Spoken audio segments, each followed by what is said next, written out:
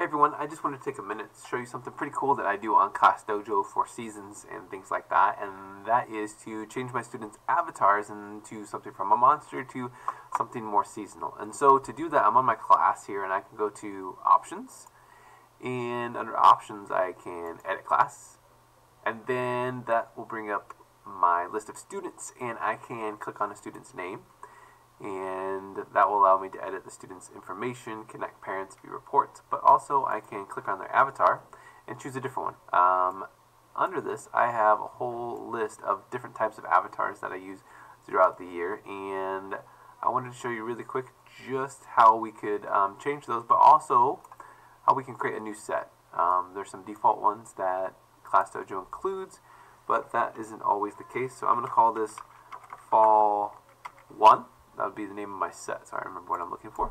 And under I'll create the set and then it wants me to upload monsters. Now I have to have some sort of picture file to use for these monsters and I've pulled some off the the Class Dojo Google Drive and saved them onto mine.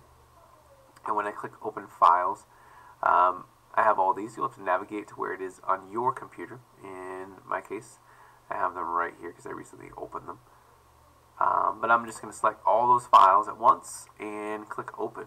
And then it's going to upload those to my account. And then I have to take time to upload those. And after they're all in there, I can click Save Set and it will bring those up right there. And then I can just select that list from my list of sets and choose a different monster for my student. Usually I just go in order so I don't have to too, too much time considering it, but um, I can choose a different monster for that one. And then one difficult part about it is that I have to go in individually and select one student at a time and change the monsters. You have 20, 30 students in your class. It takes me about 5 or 10 minutes to go through and change all of these for each season. But hopefully that gives you an idea um, when you come back here. Kids are thrilled because they get to see all of this um, new avatars for each season. Um, so hopefully that's some incentive for your kids. Um, I like to use it for an incentive. They get to change their monster or the whole class gets to change.